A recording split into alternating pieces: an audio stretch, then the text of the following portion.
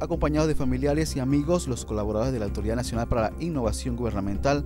participaron junto al administrador de la entidad, el ingeniero Irving Hallman, y su esposa Nadia Pedrechi de Hallman, de la Caminata de la Luz, que se realizó en la cinta costera, como parte de las actividades de la campaña de la cinta rosada y celeste, que busca prevenir el cáncer de seno y de próstata. El presidente de la República, Juan Carlos Varela Rodríguez, en compañía de su esposa Lorena Castillo de Varela, encabezaron el recorrido al tiempo que instaron a la población a que acudan a realizarse sus chequeos médicos a tiempo, ya que la prevención es la única manera de enfrentar el cáncer.